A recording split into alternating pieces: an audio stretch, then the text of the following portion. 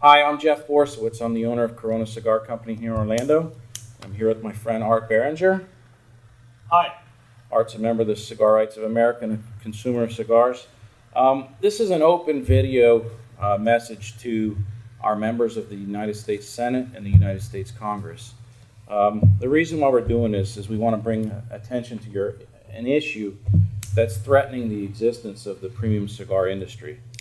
Um, what has happened is in 2008, Congress approved the uh, Food and Drug Administration to regulate all tobacco products.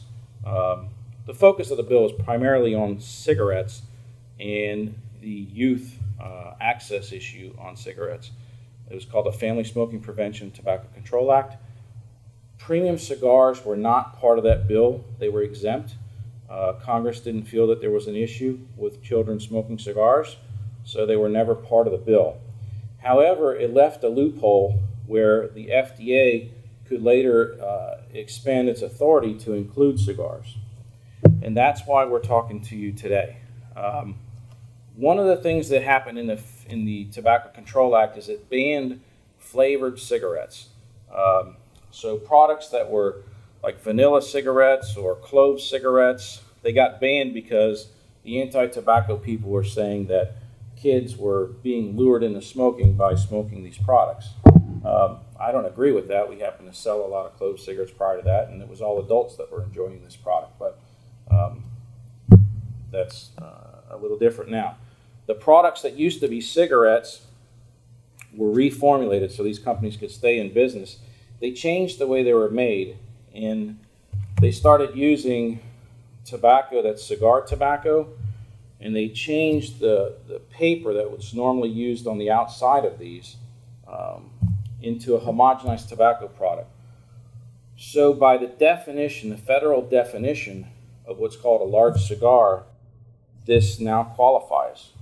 So, this product that's considered a large cigar, this filtered little one that comes in the packs like this, is now in the same category uh, as a product such as this.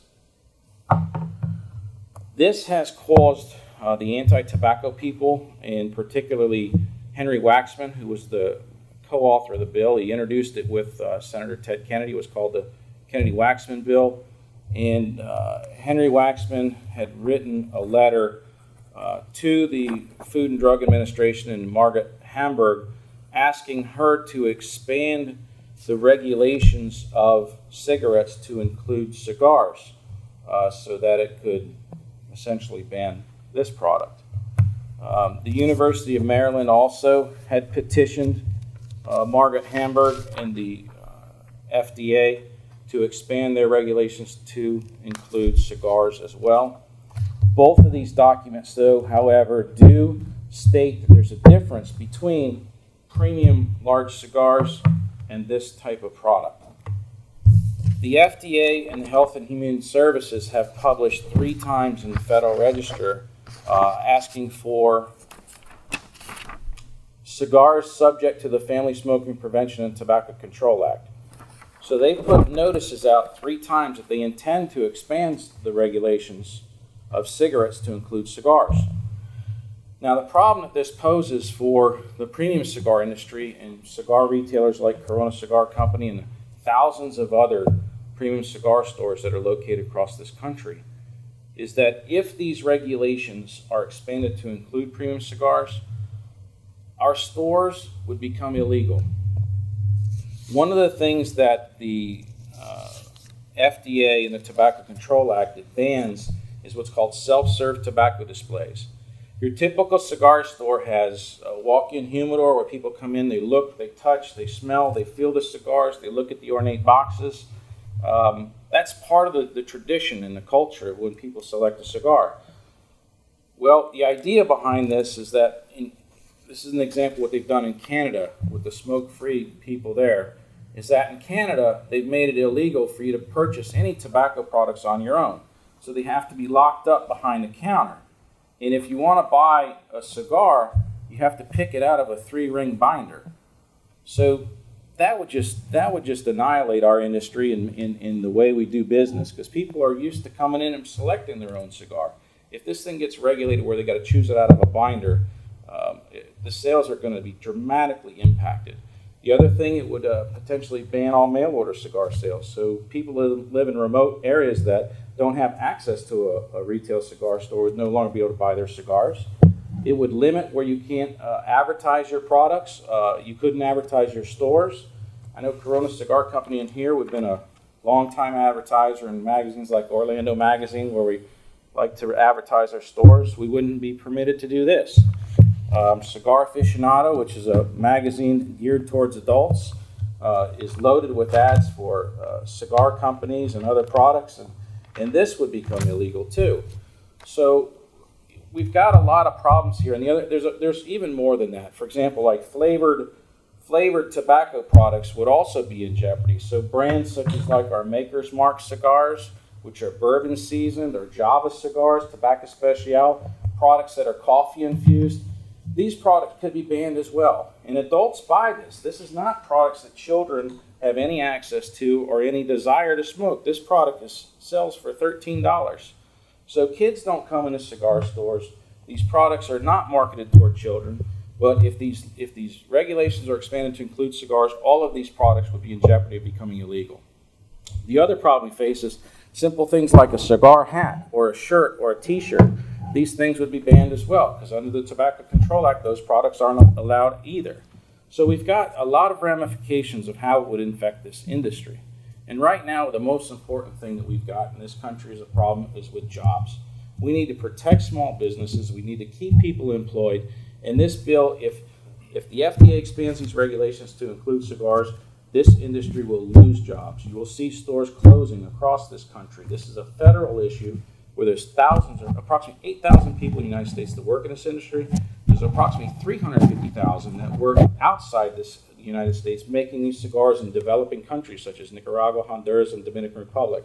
So this has far-reaching ramifications besides just the, the brick and mortar retailers and your small businesses that normally you see on your main street of, of your local town. So one of the things we also point out, the cigar industry is very, very small. When you look at the difference between this is a pie chart here. There's half a trillion cigarettes sold every year. There's 500 there's 500 million machine-made cigars sold. That's a very small segment here. The premium cigar industry is only 250 million. It's a very, very small industry. So we're not part of the problem. Kids don't smoke these products. We shouldn't have these regulations uh, expanded to us. However, the people that are in control of the FDA and the people that are at the HHS, we don't think we're going to get a fair shake with these people. And so, one of the things that we've got, the solution in order to protect this industry so that we can basically conduct business and sleep at night without having to worry about the government taking over our businesses, is there's a bill called House Resolution 1639. 1639 is a bipartisan bill uh, introduced by Representative Bill Posey, who's a Republican, and a Democrat named Kathy Castor. We also have a companion bill introduced in the Senate. It was introduced by uh, Democrats uh, Senator Bill Nelson and Republican Senator Marco Rubio. Um, this bill is a very short three-page bill, and what it does, it would exclude traditional large premium cigars from having the FDA having the authority to regulate these products. And what it does is it creates a new definition for what is considered a traditional large and premium cigar. So the, the, the, this product here will be differentiated from a product like this. One of the things that's done is it, it's required that the weight for a traditional large cigar uh, to be increased. Currently it's at three pounds per thousand. It would increase it to six pounds per thousand, so it'd have to be much larger than this. Also, it would not allow the product to have a filter on it. So any of the cigars that have a filter would not qualify as a traditional large cigar. The other thing is that it would require that the wrapper, the outside of the cigar, is made with a tobacco leaf, not with a homogenized paper type of substance. So uh, we're hoping that we can get a good, uh, your congressmen and your senators to please support this bill, support the industry, protect your small business owners, let people uh, have the freedom to enjoy a cigar without the FDA stepping in to tell them what they can and can't do saves jobs, saves businesses. And uh, if you're a consumer, best thing for you to do is reach out to your senator or your congressman. Um, you're a constituent. Your voice matters. It resonates. Reach out to them. You can. There's, there's some great resources out there. You can go to cigarrightsofamerica.org. Uh, there's a, a petition in there. You can also go to ipcpr.org, which has a, a, a, a feature in there. We can easily send an email or a letter to your congressman and senator and encourage your fellow retailers. It's important for the, re- the, the fellow retailers out there that sell this premium cigars to call your congressman, ask him to support this. Your business depends on it.